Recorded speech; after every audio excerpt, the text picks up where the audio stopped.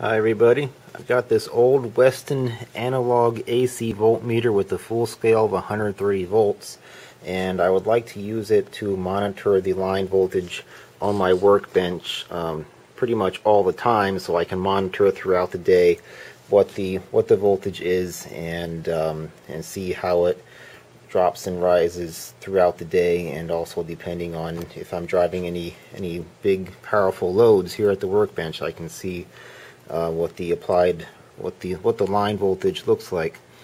So 130 volt scale perfect for looking at 120 volts but you can see I've got 130 volts applied to it right now from a Variac and the the needle is actually pointing a little bit above 130 now this is rated for 400 hertz so that might have that might be the reason why and I'm only applying 60 hertz but still it's it's very good almost perfect linearity um, between 60 hertz and what 400 hertz probably would be. So I just turned it down a little bit and we're looking at about 127 volts when this needle is pointed at 130 and also just to show that it's not a simple matter of adjusting the the adjustment screw. I turned it all the way down to zero and indeed the needle is pointing exactly at zero. So here's a review of what I've been getting on the Fluke multimeters. When I apply 130 volts there's the analog meter going off the scale and I was reading 19.7 milliamps. And if we do Ohm's law we get 600 and 6,600 ohm is the resistance of the meter. It's much more reliable to use an active voltage and an active current measuring the voltage and the current rather than just measuring the resistance because of the effects because of the, the, the effects that an AC current would have as opposed to a, a DC resistance measurement. And here's what we can do to fix it. Just put a simple resistor in series with it and that will drop the current a little bit when we apply 130 volts giving us 127 volts that we measured before when this thing was pointed at exactly full scale. And then another 3 volts across this resistor gives us 130 and again by Ohm's law this one should be only about 155 ohms. I should also point out that it's very fortunate that when we apply 130 volts that the, the needle goes a little bit above the scale. If we had a situation where we apply 130 volts and the needle was showing maybe only 125, perhaps right there on the scale, then we'd have to open up this thing and mess around with resistances inside of it in order to, to fix that. But fortunately, in this circumstance, we just have to put an external resistor. Now let's go over here to the, the parts stock. Here's my precision resistor bins. And where are we at? I was looking for 155 and hey, look at that. Looks like we got some 154 ohm resistors. That's close enough. Even if I didn't have precision resistors, I could just use a 5% anyway. 150 ohm 5% would be no problem because most of their precision comes from the precision resistors that are inside this, of course. And whether or not that whether or not this is plus minus 5% is not going to have much of a difference on the full scale. Okay, got that 154 ohm resistor right there. Let's turn it on, turn on the variac and crank it up. Let's see what we get. Let's look at 70 volts first.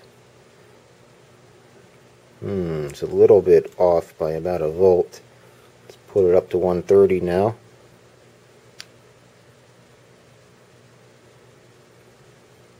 And it's right on the money. getting about 130 volts and 9 point, or 19.3 milliamps exactly as we calculated. There's 100 volts. Let's see, 80. Yeah, that's pretty close. It's off by about half a volt when we get to the middle of the scale, but that's really no big deal because after all it's going to be up here around anywhere from 115 to 125 throughout the day. Awesome. So that was an easy fix. Now I just got to put this thing into a nice little enclosure and that'll be it. Now I've got this nice DC 1 milliamp milliamp meter right here and a nice enclosure. Got some nice binding posts on top. Really, really good quality. And some screws in the back. One thing to be concerned about though is that this thing is made of steel and that could affect the magnetic performance of the analog meter. Any kind of meter that has a needle moving according to magnetic fields is going to be susceptible to the material that you put it in and susceptible to any external magnetic fields. But since it's AC, I'm not too concerned about it.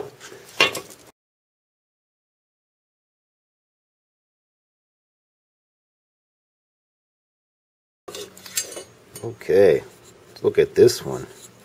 Look at that, nice hermetically sealed all the way around. Made by Roller Smith in Bethlehem, Pennsylvania. Let's see what's this say. September 1st or September 11th, something like that, in 1954. So that makes this thing 60 years.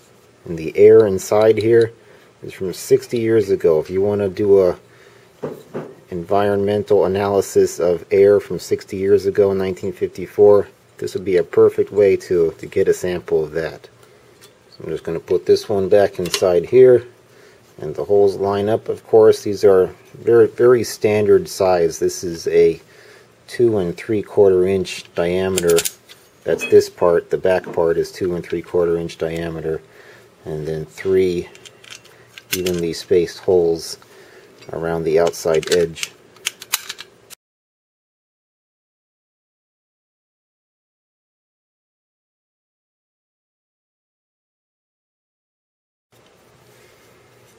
Now here's something interesting. Whoever put this together included a star washer on the on the black binding post and that's probably because it was uh, for DC ammeter and it for low power DC circuits it's it's okay to have the chassis grounded.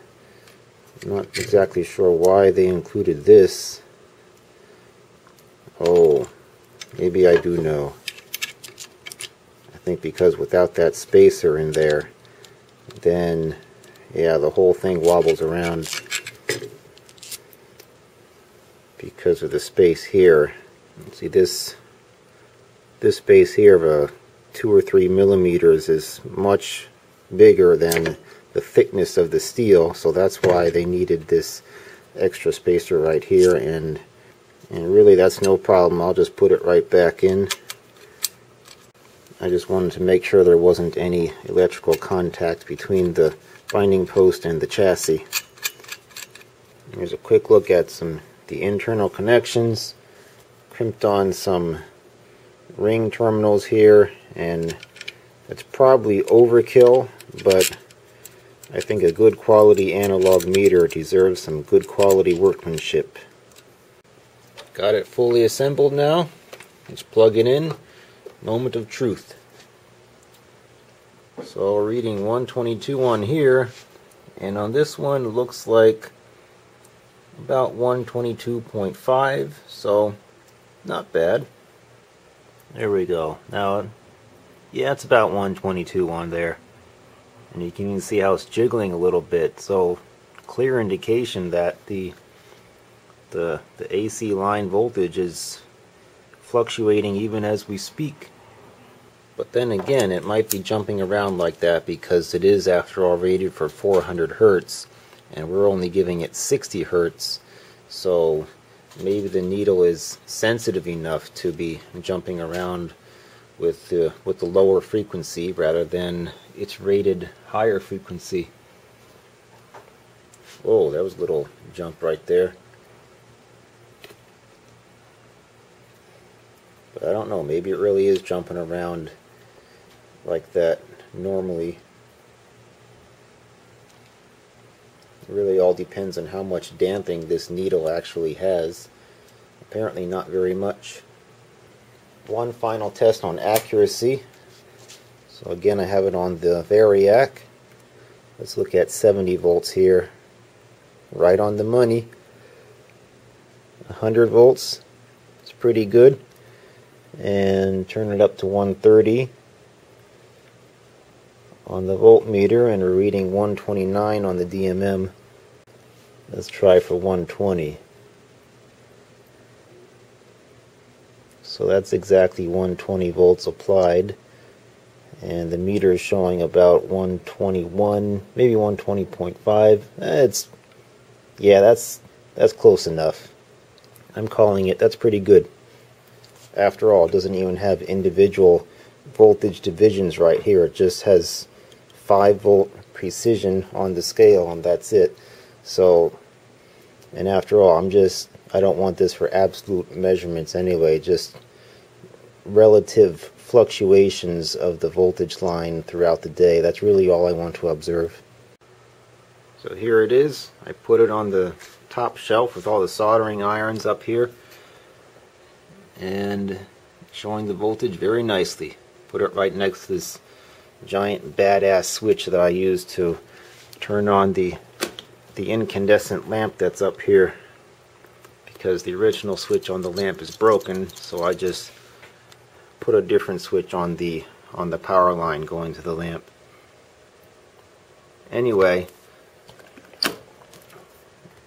by the way I should mention that this nonlinear scale on the meter that's because it's a moving vane um, movement inside here. It's not like the the classical DC coil with a permanent magnet inside. It's entirely different, but that'll be another video for another day. I'll have to take apart another moving vane coil to show the inside. So please give this video a big thumbs up if you learned something. Thanks for watching, and see you later.